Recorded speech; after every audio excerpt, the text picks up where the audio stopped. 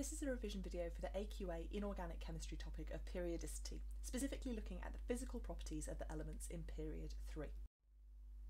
The periodic table is divided into vertical columns called groups and horizontal rows called periods.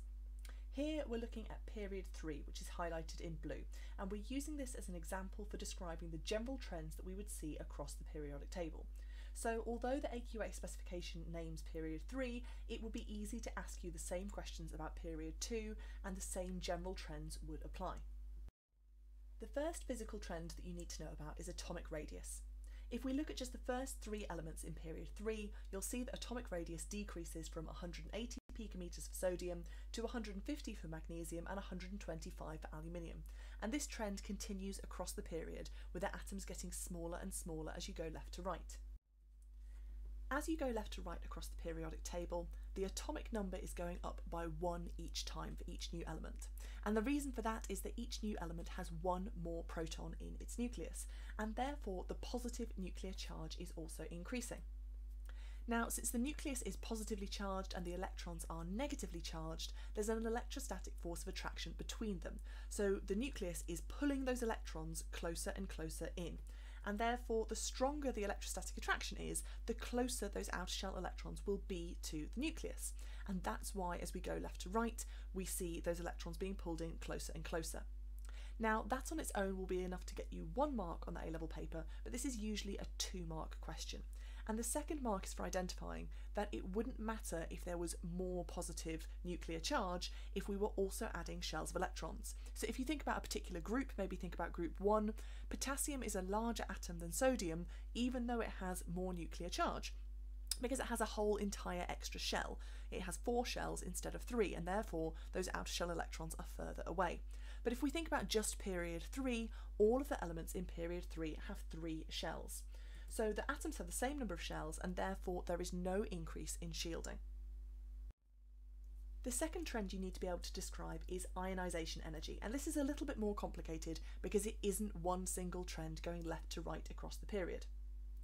Firstly, let's remember that the first ionisation energy is the energy required to remove one electron each from one mole of gaseous atoms. The gaseous part is important and you're always expected to use state symbols when you represent this with a symbol equation. Now, the general trend is easy to describe. Generally, as we go left to right across the period, the first ionisation energy increases. And this is because the number of protons is increasing by one each time, so the nuclear charge is still increasing and you're trying to overcome the electrostatic force of attraction from a progressively more positively charged nucleus.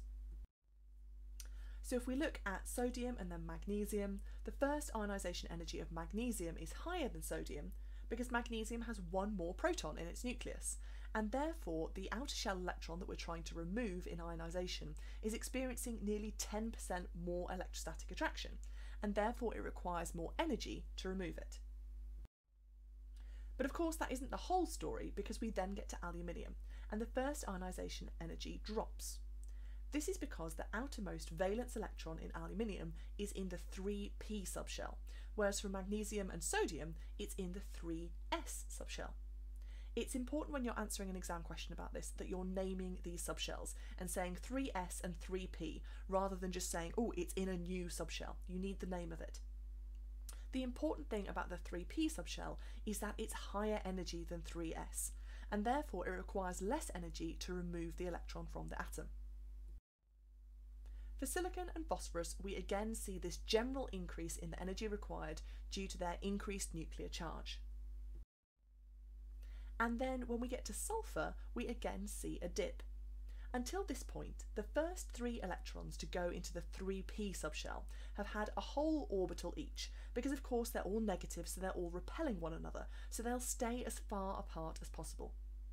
With sulfur, the first of the 3p electrons needs to pair, and of course those electrons that are paired are still repelling each other, and that repulsion makes it slightly easier to remove the latest 3p electron. And then again for chlorine and for argon, more protons means a higher nuclear charge, therefore a stronger electrostatic force of attraction between the nucleus and the outer shell electrons, and therefore more energy is required to remove that electron. While the specification talks about first ionisation energies specifically with respect to period 3, it's important that you understand that the same trends apply for second and third and fourth ionisation energies. Subsequent ionisation energies are discussed in the physical chemistry specification, so you're expected to know that the second ionisation energy is the energy required to remove an electron each from one mole of singly positively charged gaseous ions, just as we have written in this symbol equation here and you could be synoptically assessed in a question that asks you about the trends in second ionisation energy of period 3 elements. So for each of these subsequent ionisation energies, for the second and the third and so on, the trends will be the same, but each time the elements shuffle along one. So whereas aluminium sees a dip for the first ionisation energy, it will be silicon that sees a dip for the second, and phosphorus for the third. In looking at second ionisation energies, there are two key things to note. Firstly, removing an electron from the second shell rather than the third requires far more energy because it's much closer to the nucleus. So sodium has a much higher second ionisation energy than the other elements because that electron is removed from 2p, not from 3s. When we then get to the third ionisation energy, we'll see that magnesium suddenly sees a big spike and so on and so forth. The second thing that you need to note is that all of these values are higher than the equivalent values were for the first ionisation energy. And that's because in each instance we're removing electrons from positive ions, and taking a negative particle from a positive object is harder than taking a negative particle from a neutral object. So again we then see that general trend of increasing left to right across the periodic table. And then, as we've said, the 3p versus 3s dip that we saw in aluminium for first ionisation energy, we now see for silicon with the second ionisation energy. Although the second ionisation energy for chlorine isn't actually lower than sulphur in the way that sulphur is lower than phosphorus for first ionisation energy, it is lower than you would expect if we were just having a general left to right trend. And again, this is due to the repulsion between the electrons sharing their 3p orbital. To discuss the melting points of period 3, we need to know what the structure and bonding of these elements looks like. Sodium, magnesium and aluminium are all metallic structures, whereas silicon is a giant covalent structure with thousands of atoms in one macromolecule. And then the remaining nonmetals form simple molecules with 4, 8 or 2 atoms, or just monatomic argon.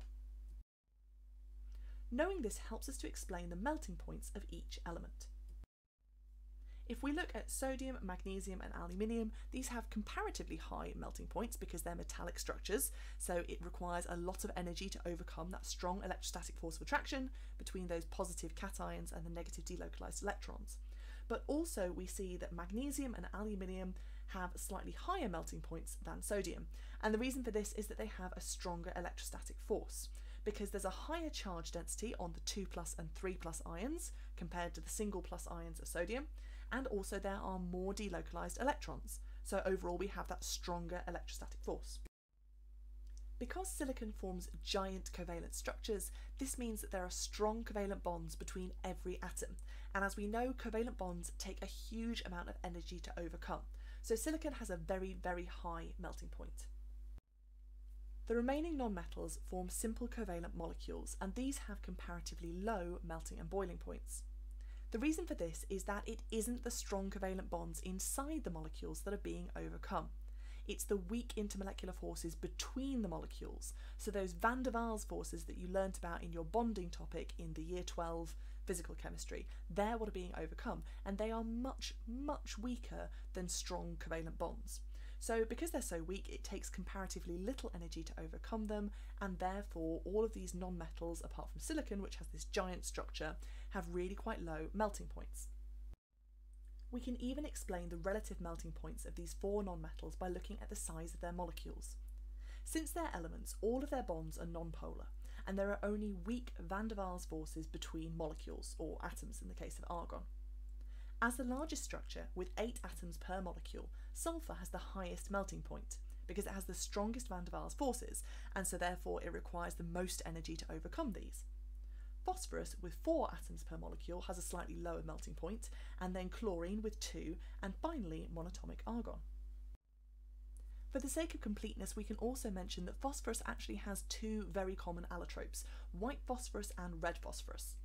White phosphorus consists of those P4 molecules that we've just mentioned, and it has a melting point of around 320 Kelvin.